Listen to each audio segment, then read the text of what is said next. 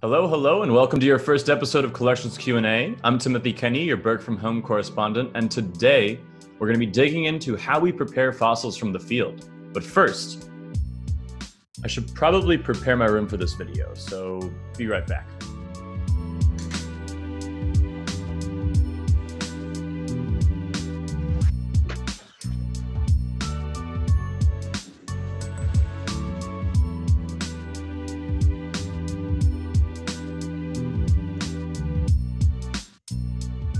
This is the best it's looked in a long time. So fossils don't come out of the ground looking very pretty. Usually they kind of just look like big hunks of rock. So today, the Burke Museum's Fossil Preparation Lab Manager is going to teach us how they take those big hunks of rock and turn them into the beautiful fossils you might see in our exhibits. Let's dive in. Well, hi, Kelsie. Thanks so much for coming to visit us at the Burke from Home online. We really appreciate you taking the time out of your day. So, what is your name and what is your role at the Burke Museum? I'm Kelsie Abrams, and I'm the Fossil Preparation Lab Manager at the Burke Museum. So I think a lot of the people watching this video will have seen the fossil prep lab at the new Burke Museum. What exactly is fossil preparation and why does it happen in the lab? Um, fossil preparation is the process of removing rock from a fossil and consolidating it, making sure it's strong enough to uh, be handled by researchers or looked at by the public. Um, so putting it back together, adding adhesives to strengthen it, um, so providing housing, so cradles or jackets to support its weight, because a lot of fossils can't support their own weight, um, and then making sure it's in a good, stable condition for researchers or for going on display. And the reason we don't remove rock from fossils in the field is because in the field you have, when you're at a dig site, there are steel-toed boots everywhere and a lot of people walking around and not necessarily paying attention. You have cows that'll come walking across your dig site, and cows have been known to destroy dig sites before. Um, you've got all the different weather, hail. A lot of times you get big hailstorms in the summer. Um, you've got the winter weather, the freeze thaw cycle with the snow and the ice. So removing the rock in the field is going to be dangerous to the fossil a lot of times because you're, you're removing that protection from the environment. Um, so what we like to do is keep as much rock on the fossil as possible before we can get it into the lab. The lab is a safe, stable environment where we can carefully and slowly remove rock um, at a pace that's safe for the fossil, and then um, in a way that we're able to monitor the impact of what we're doing to the fossil as well. And and I've noticed uh, that there's a very specific way that you guys transfer fossils from the field to the fossil prep lab in the museum and uh, th- those are called field jackets. Can you tell us a little bit about uh, how field jackets are applied in the field and why they're so important in transporting fossils?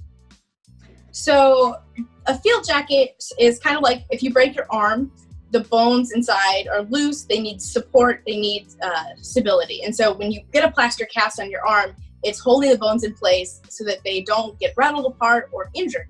Um, the field jacket kind of operates in the same way. It's made out of plaster. It encompasses the bone or the fossil that we're after, and it keeps it together. It keeps it um, safe from vibrating apart as we transport it on a flatbed truck from Montana to Washington. Uh, it keeps bugs and rain and debris out from uh, away from the fossil. So it's just a nice protective layer that keeps everything held together nice and tight and secure. So we're able to transport it, you know, thousands of miles in a car do you have a pretty good idea of what condition a fossil is in before you open up the field jacket? Or is it kind of like once you start cutting into it, you're like, oh, we've got a really, really good solid fossil in our hands, or oh, this one's going to be a little bit crumbly, maybe a little bit tougher to deal with? Um, it's sometimes it's a surprise, and sometimes I know. So if it's a priority specimen, usually I'm giving pictures from the field. I'm giving all the field notes. I get to see what it looked like when the researchers found it out in the field, how they collected it, all the pictures and data. Other times I'm wandering looking for something to do and I see an easy jacket and I grab it and I might not know what's in it and I open it and it'll be complete surprise. And I've had everything from chunks of mammoth skull from loose dirt found in Washington. And then I've also opened up things and been like, oh, that is a theropod, a two-legged meat-eating dinosaur toe bone. Um, so it's sometimes it's a surprise because I'll just grab stuff and oh, what's in here? And then other times I'll, I'll know I'll have all the notes. So it's kind of all over the place. So what what kind of things are you looking for when you first open up a field jacket? Do you have a pretty good idea of kind of how the specimen is kind of placed within the matrix and the rock that you're going to remove, or you kind of have to do a little bit of digging before you before you know kind of the ins and outs of where that fossil sits?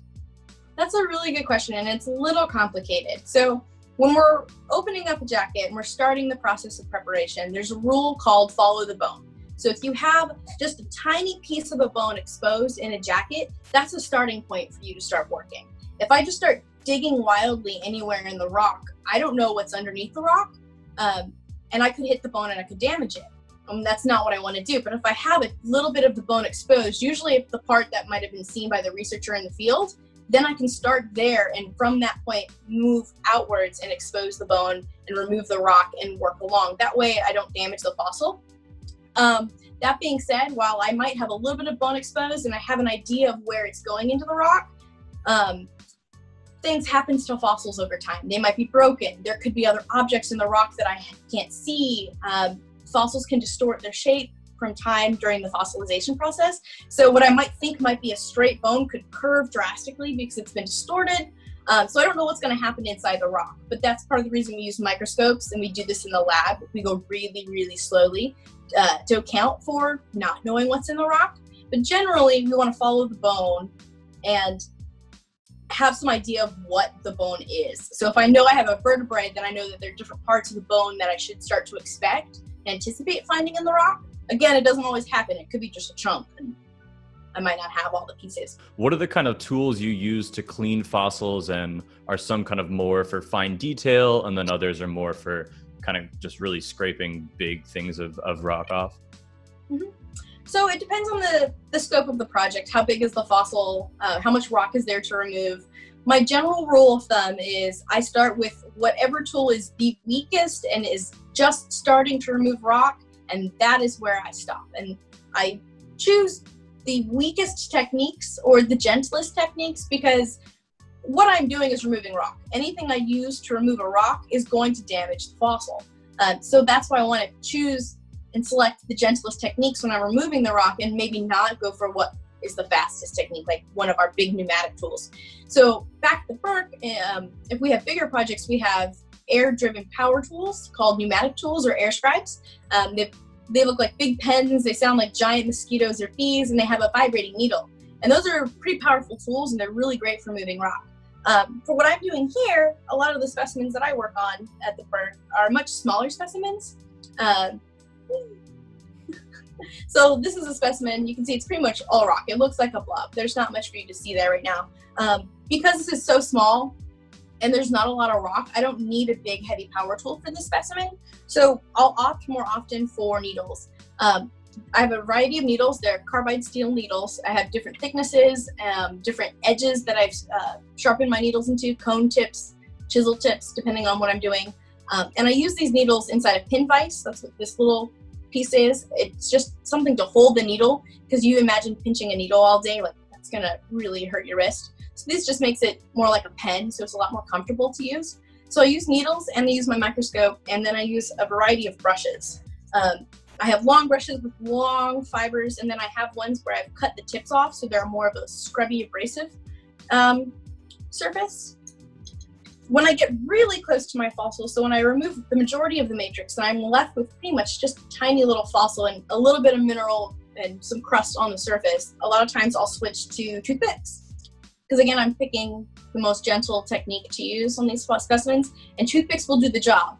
Um, I'm never picking tools that are going to go fast. Fast is not in my vocabulary. Uh, the purpose is not to get my fossils done the quickest, it's to get them done with no damage done to them. Um, so toothpicks are really great. Uh, I'll go all the way down to porcupine quills or cat whiskers um, because I am working under high magnification and a cat whisker can be really good for getting just into tiny little holes or tiny little ridges. Um, what else do I have here? I have some um, fiberglass paper and then this is called uh, Japanese rice paper. Um, it's archival quality, meaning it's never going to go bad, it's never going to turn yellow, it's never going to degrade and I can use this to strengthen fossils when I'm gluing them together. Um, tweezers, I have a poofer, this is called poofer. This just helps blow the dust off my fossils when I'm working to keep them clean so I know where I'm working. Um, and that's about all I'm using here.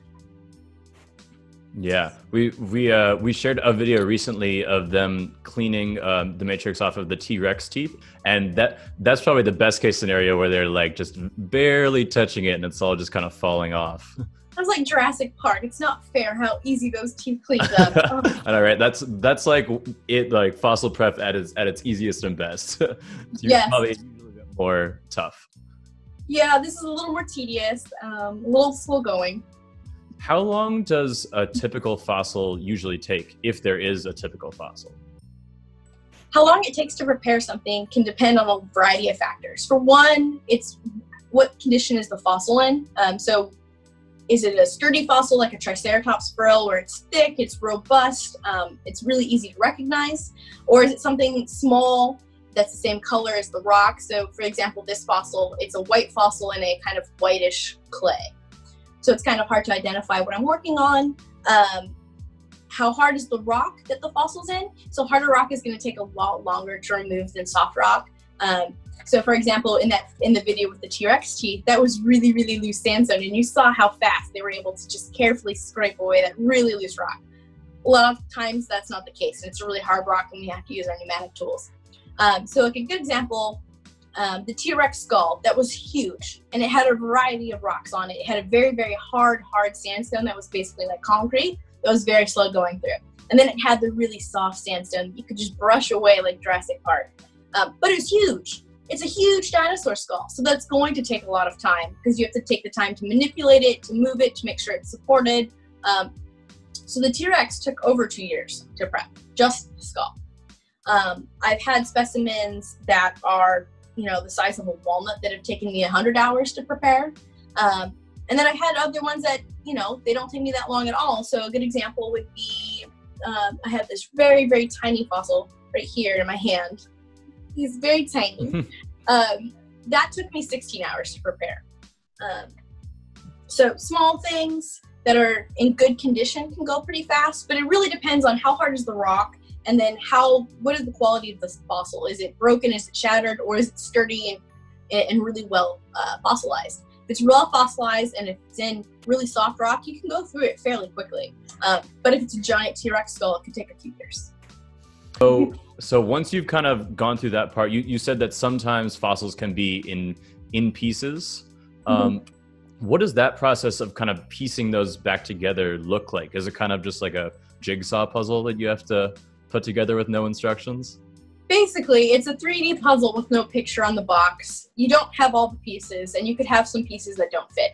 So, puzzling a fossil, uh, some people love it. Like, I think it's the best. And other people just, it blows their mind. It's too tedious.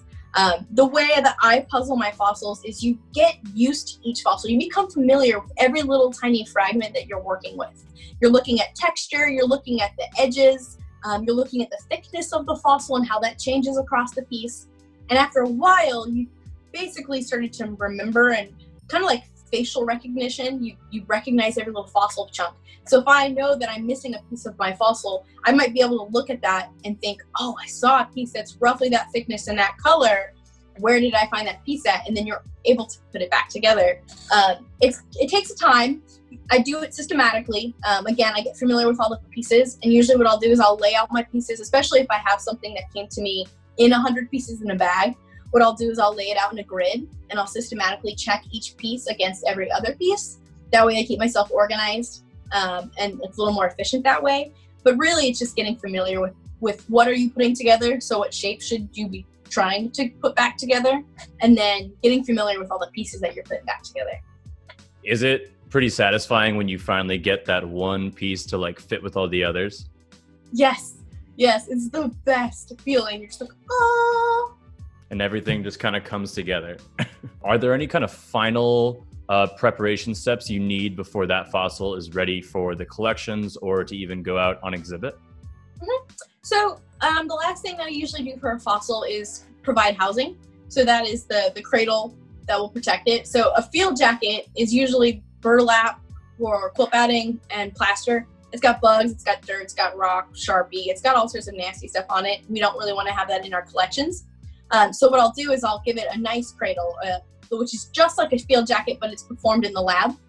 Um, usually I'll use plaster, uh, same thing I use in the field, but a lot of times I'll also use fiberglass instead of quilt batting or burlap. Um, fiberglass gives your fossil a lot more structure and stability, and also that stuff never goes bad.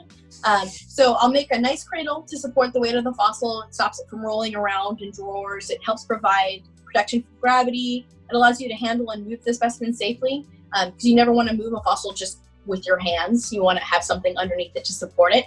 So usually the last thing I do is give it some sort of bed or cradle to lay on in the collections, um, and then finish the paperwork for it.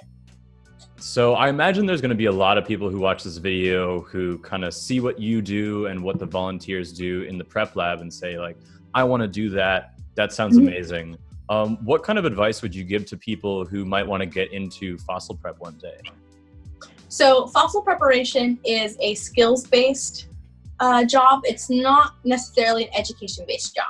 Um, if you do want to take classes or learn more about um, topics that would help you become a good preparator, looking at anything with geology, paleontology, biology.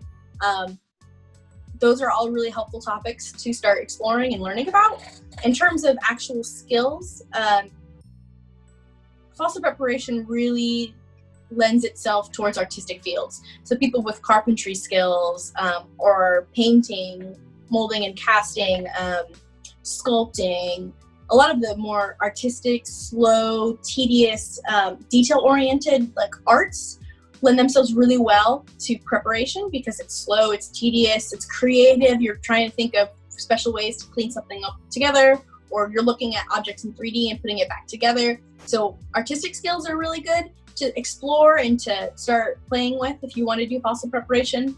Learning about geology um, and paleontology and anatomy, especially learning what our bones supposed to look like, so microscope skills, um, some science skills, um, and then a lot of artistic skills or exploring artistic um, hobbies can really help you in the field of preparation.